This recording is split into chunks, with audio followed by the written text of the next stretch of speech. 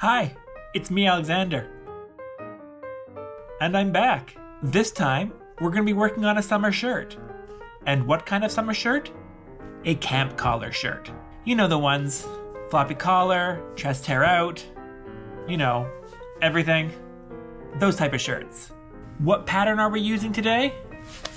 We're using New Look 6197. I'm to be doing view A right here, not the other ones. I'm doing the men's version, I guess technically unisex, and that's what we're going to dive right into. Let's go. Let's take a minute to look at the fabric. This is an interesting, modern, floral design in a shirtweight cotton.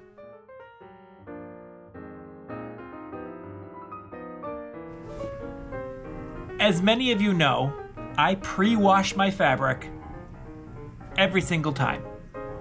Except when it comes to a quilting item. Then I don't pre-wash. And I don't know why that is, but when it comes to making any sort of garment or fashion item, I pre-wash. One, you want to get that shrinkage out. And it's also great to have a nice smelling piece of fabric when you're doing all your other items. That's why I pre-wash. Now, I have to say I'm a big fan of ironing, pressing, or whatever you want to call it. I like to take my time and make sure every crease and wrinkle is out. This also includes, though, putting in a crease in the center of the fabric. This way, I know exactly where I need to cut, sew, measure to, you name it. Some people don't think ironing is sexy, but let me tell you, nothing sexier than a freshly pressed and ironed garment. Plus, also, let's be honest, you do get all hot and steamy.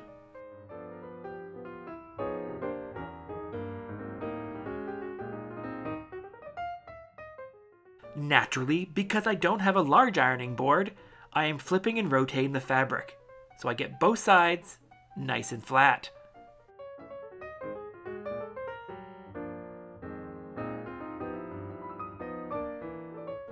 After ironing, I'm taking that piece of fabric to my cutting table, which I wish was wider, but it will have to do. I do take the time to make sure it is nice and flat, and that the crease I put into it, the center of the fabric, is closest to me. I know that might sound a little pedantic, but I like the crease next to me so I can place all those pattern pieces on the fold properly.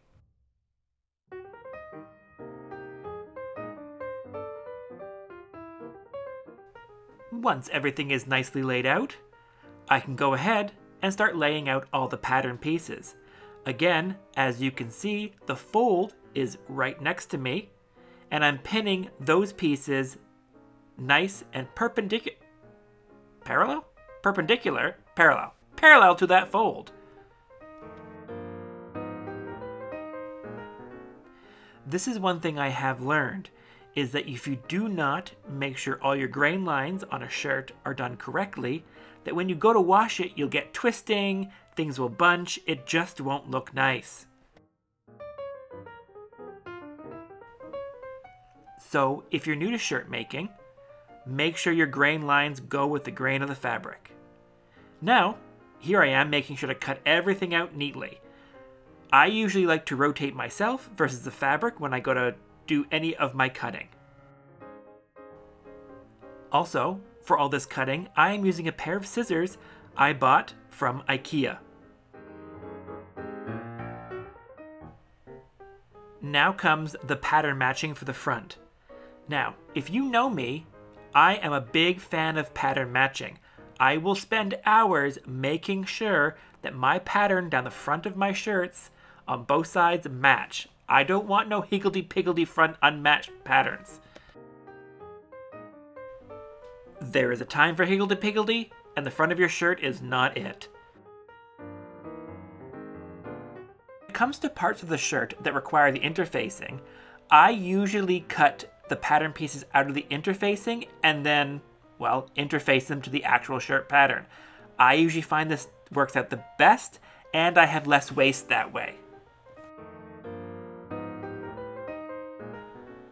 This also brings me to a good, excellent point.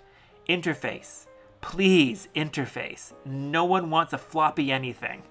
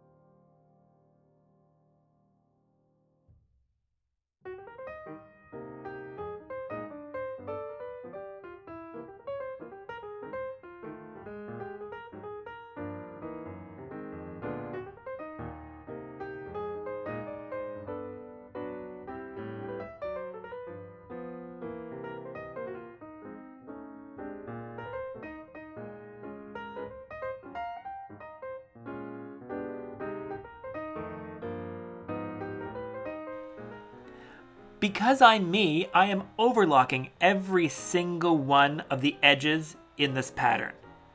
Why? Well, it gives it a slightly more professional look.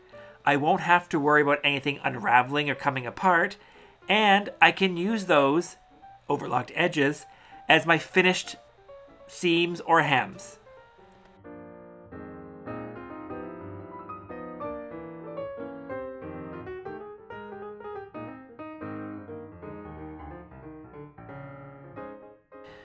Didn't I tell you I liked ironing? After overlocking, I just like to give a quick press to make sure everything goes back to flat.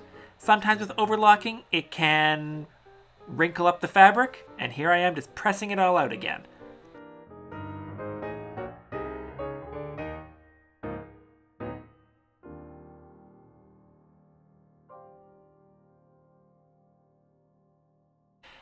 Here I am finally, getting to the sewing machine there's a lot of prep work in making a shirt before you even get to sewing.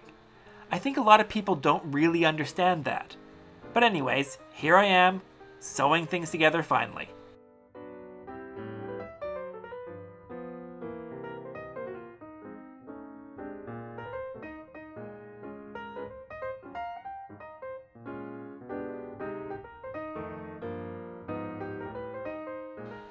Personally, I find sewing super relaxing and soothing. Maybe it's the rhythm of the sewing machine, who knows?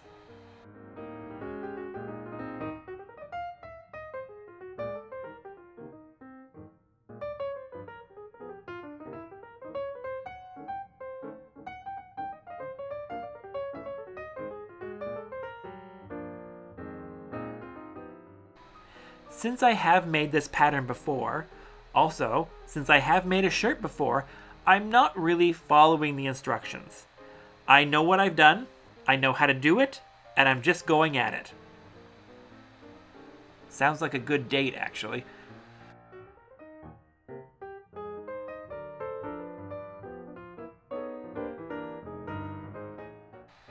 If there is one thing you're going to take from this video, I use a lot of pins. That's right, a lot of pins. As you can see, I pin every single seam, every single edge, and at every single notch.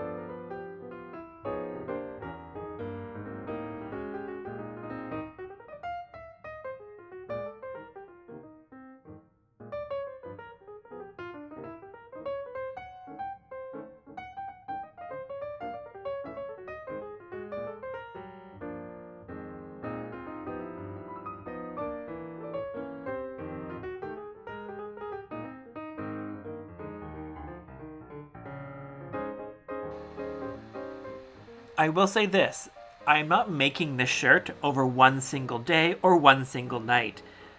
I usually take a few days at night to make all my shirts.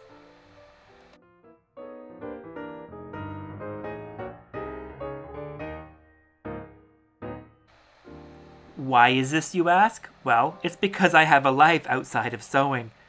Not that I don't not want a life inside sewing. Please sponsor me.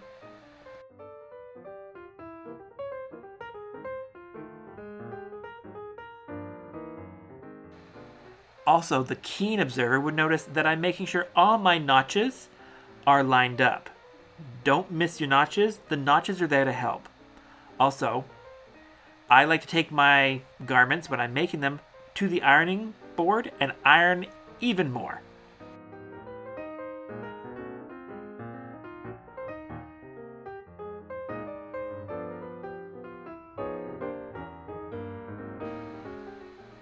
When it comes to hemming, it makes me sad and frustrated all at the same time. As you can see, I already have a overlocked edge, and I'm just going to turn that up the half inch or so to give a clean looking front, or inside, or back, or anywhere there is a hem. And again, I've used hundreds of pins.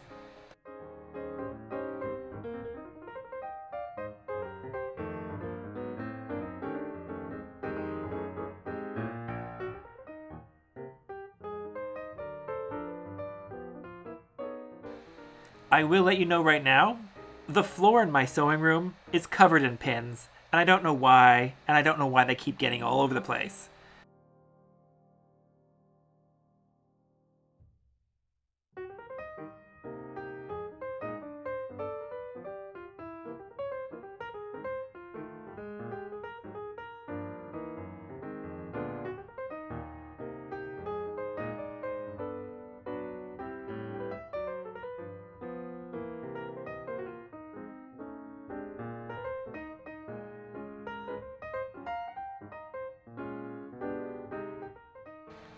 Right now, I'm trying to hem the sleeves. Again, something I don't enjoy doing.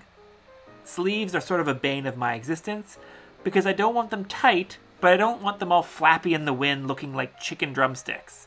Or the waddle. Ugh, who wants that?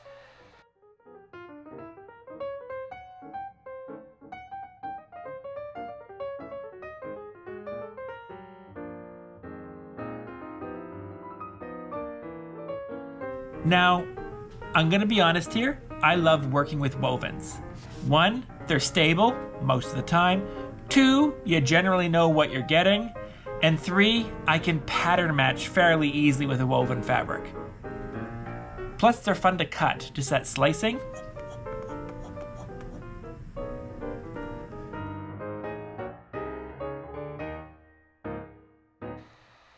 Again, pinning is a key essential to anything. I make sure all my pins are in place and probably with double, just to make sure my shirt lines up properly and it looks correct. And this goes exponentially to the max when it comes to doing a set-in sleeve. I use so many pins, I don't know where the shirt ends, the pins begin, or anything.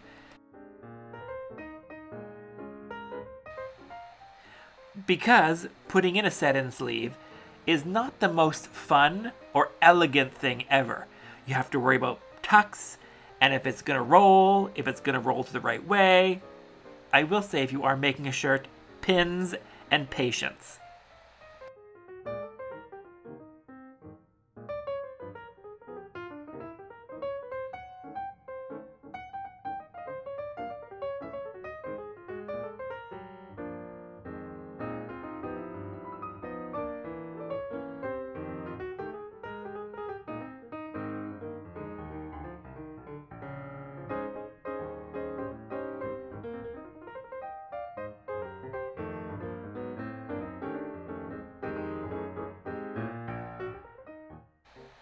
Now, this handy pattern came with a button guide, so here I am just marking out the buttons with my water-soluble marker, which is from Walmart, weirdly, and I really like it.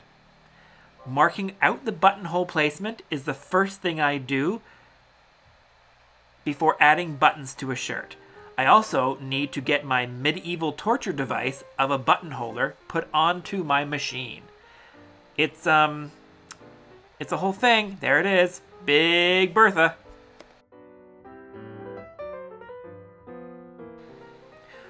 Once it's on there, we do a little test to make sure that it will work if it fits with the button I want to use, and I think since we're good to go, we're gonna go at it. Get the actual shirt. I usually try to start at the bottom just in case if it does screw up, I can cover that up later. One buttonhole, two buttonhole, three buttonhole, four.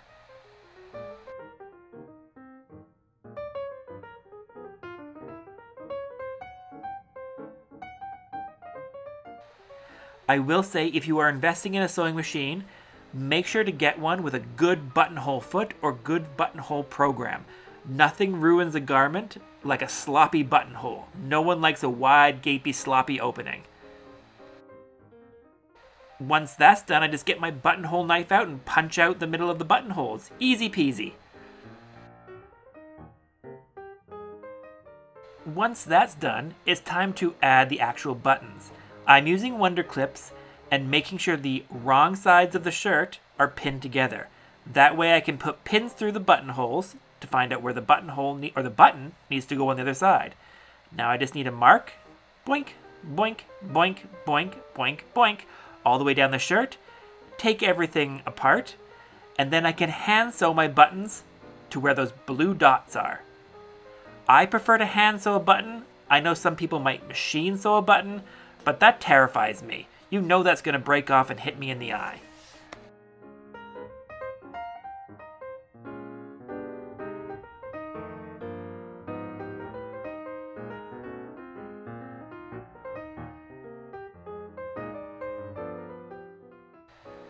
Once I've hand sewed the buttons all on, as you can see me doing here, which takes usually about an hour, do you know what time it is?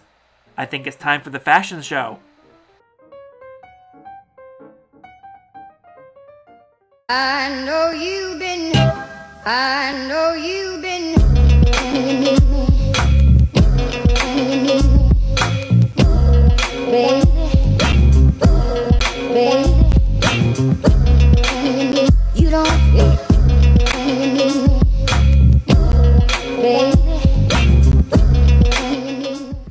Hey, and there you have it. All finished, all done, and ready for me to wear out. New look, 6197, I think turned out pretty well. Let me know in the comments below what you think of it. Would you make this shirt? Would you not make this shirt? Do you think I should make more of this shirt? Anyways, happy sewing. Till next time. Bye.